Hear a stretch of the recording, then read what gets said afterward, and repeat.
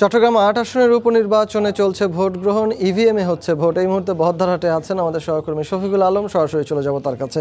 শফিক সকাল থেকে অনাকাঙ্ক্ষিত কোনো ঘটনা ছাড়া চট্টগ্রাম মাঠ বোয়ালকালী আসনে উপনির্বাচন ভোট অনুষ্ঠিত হচ্ছে এবং সকালে এই আসনে ভোট দিয়েছেন আওয়ামী লীগের প্রার্থী এবং এর পরবর্তীতে ইসলামী বাংলাদেশ ইসলামী ফ্রন্টের প্রার্থীরাও কিন্তু এসেছেন। এখন আপনি হয়তো দেখতে পাচ্ছেন মানুষের কিছুটা ভিড় দেখা যাচ্ছে। সকালে যদিও দীর্ঘ লাইন ছিল, এখন বেলা বাড়ার সাথে সাথে ভিড় একটু কমেছে।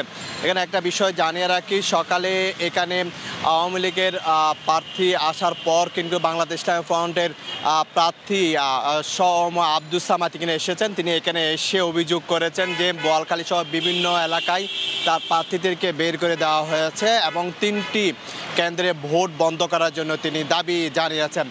এরপর পরবর্তীতে কিন্তু আম মার্কা যে পলাশ মোহাম্মদ কামাল পাশা, তিনিও এসেন তিনিও একই অভিযোগ করেছেন। তবে আওয়ামী লীগের যে প্রার্থী রয়েছে নোমান আল মাহমুদ, তিনি বলছেন, সুষ্ঠুভাবে ভোট হচ্ছে, সকাল থেকে কোনো ধরনের অনাকাঙ্ক্ষিত ঘটনা ঘটেনি এবং সারা দিন কিন্তু ভোট চলবে। তবে তিনি অভিযোগ করেছেন, এখানে বিএনপি জামায়াতে হয়তো একটি চক্রকে এই নির্বাচনকে বানচাল করার চেষ্টা করছে, এরকম তিনি অভিযোগ করেছে। তবে, অনাকাঙ্ক্ষিত কোনো ঘটনা কিন্তু এখন আমাদের চোখে পড়েনি। জানিয়ে রাখি, এই আসনে প্রায় পাঁচ লাখের বেশি ভোটার আছে, একশো নব্বইটি কেন্দ্রে ভোট হচ্ছে এবং শহরে এবং উপজেলা মিলিয়ে কিন্তু একশো নব্বইটি কেন্দ্র এবং চোদ্দ হাজার, চোদ্দোটি কিন্তু কক্ষে ভোট অনুষ্ঠিত হচ্ছে। চার হাজারের বেশি নির্বাচন কর্মকর্তা নিয়োগ করা হয়েছে অনাকাঙ্ক্ষিত ঘটনাকে যাতে না ঘটে সেজন্য।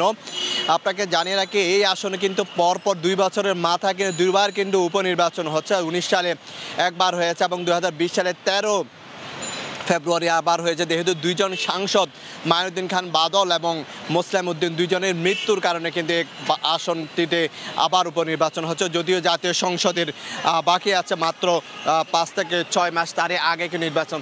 তো সব কিছু মিলিয়ে যেটি বলতে পারি যে, এখানে কোনো ধরনের অনাকাঙ্ক্ষিত ঘটনা ছাড়াই সুষ্ঠু নির্বাচন হচ্ছে। যদিও বিভিন্ন বাংলা ইসলামী ফ্রন্ট সহ বিভিন্ন পক্ষের প্রার্থীরা তারা অভিযোগ করেছে তাদেরকে বের করে দেওয়া হয়েছে এবং কয়েকটি কেন্দ্রে ভোট বন্ধের তারা দাবিয়ে জানিয়েছেন তো এই ছিল আমার কাছে সর্বশেষ তথ্য চট্টগ্রামের বহদ্দাহাট থেকে চট্টগ্রাম আট আসনের উপনির্বাচনের খবরাখবর জানাতে নগরীর বহদ্দারহাট থেকে যুক্ত হয়েছিলেন সহকর্মী শফিকুল।